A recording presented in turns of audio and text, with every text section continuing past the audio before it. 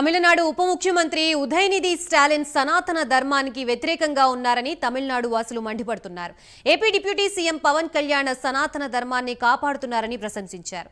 ఉదయనిధి స్టాలిన్ తీరు తమకు ఎంతో బాధని కలిగిస్తోందని తమిళులు ఆవేదన వ్యక్తం చేస్తున్నారు. దేశంలో సనాతన ధర్మాన్ని ప్రధాని మోదీ ముందుకు తీసుకువెళుతున్నారని తెలిపారు.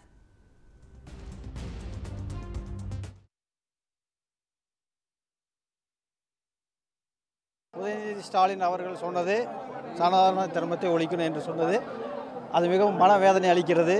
இந்து மக்கள் மிகவும் புண்பட்டுள்ளனர். பவன் கல்யாண் அவர்கள் சரியான பதிலடி கொடுத்துள்ளார். அதனுடைய எழுச்சி இந்தியா முழுவதும் இருக்க வேண்டும். பவன் கல்யாண் சொன்னது ச சரிதான். எழுச்சி இந்துக்கள் கூட இந்துக்களுக்கு எழுச்சி வர வேண்டும். இந்து ஒரு மோடி அவர்கள் சிறப்பாக செய்து கொண்டிருக்கிறார்.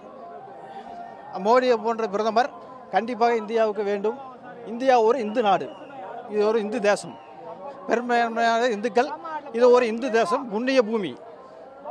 எல்லா மக்களும் அரவணைத்து செல்லக்கூடியது இந்து தர்மம். அது யாருக்கும் எதிரானது அல்ல. எல்லாரும் அனைவரித்து செல்லக்கூடியது இந்து தர்மம். அது எத்தனை காலம் எத்தனை ஆயிரம் ஆண்டுகளானாலும் நிலைத்திருக்கும். அனைவரும் பின்பற்றக்கூடியது. பல ஆயிரம் ஆண்டுகளுக்கு முன்பே பல முன்னோர்கள் நம்மளுக்கு வழிகாட்டி சென்றுள்ளார்கள். அதை நாம் கண்டிப்பாக கடைபிடித்து வாழ வேண்டும். அதன் சதானத்தை காப்பாற்ற வேண்டும். அதன்படி நடக்க வேண்டும். அது உலக நியதி உலக நன்மைக்காக சொல்லியது. சத்தியமூர்த்தி சென்னை தமிழக துணை முதலமைச்சர் உதயநிதி ஸ்டாலின் அவர்கள் சனாதன தர்மத்தை பற்றி இழிவாக பேசினார். அதே போன்று ஆந்திராவுடைய துணை முதலமைச்சர் பவன் கல்யாணம் அவர்கள் சனாதன சனாதன தர்மத்தை பற்றி உயர்த்தி பேசினார். ஆகவே எங்கள் தமிழ்நாட்டு மக்கள் சார்பாக பவன் கல்யாண் அவர்களுக்கு சயா சனாதன உயர்த்தி பேசுவதற்கு அவங்க மனதால நான் நன்றியும் வணக்கத்தையும் தெரிவித்துக் கொள்கின்றோம். இந்த இதை பற்றி எதுவும் தப்பாக எதுவும் உதயநிதி ஸ்டாலின் சொல்லக்கூடாது ஐயா அவர்கள். நாங்கள் எல்லாமே இந்து ஸ்டாலின் சேர்ந்தவங்க தான். அவரும் இந்து ஸ்டாலின் சேர்ந்தவர் தான். மக்கள் வந்து பொதுநாயக சேவை செய்கிறவர் அவர்.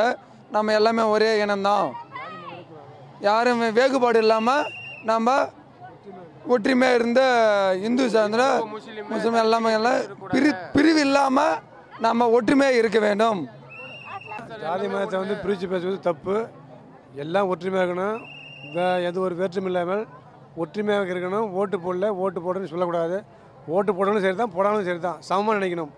ஏன் பிரித்து பேசுகிற ஏன் வேற்றுமை நினைக்கிற? அந்த மாதிரி இருக்கக்கூடாது. மக்கள் எல்லாம் ஒரே ஒற்றுமையாக இருப்போம்.